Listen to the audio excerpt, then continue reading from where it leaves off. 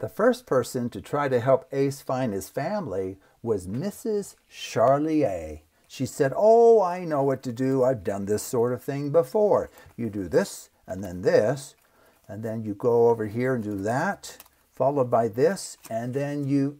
It didn't help at all. Then came Mr. LR. He said, No, no, no, no. You need to follow a system. You've got to be systematic in your search. If you do this and this and this and this, you can find anything. Random stack here. But it didn't work either. And then came the strangest person of all, Mrs. Klondike. Boy, did she have an odd way of finding lost family members. But sadly, in the end, it didn't help either. So poor little Ace sat down again to ponder what to do next.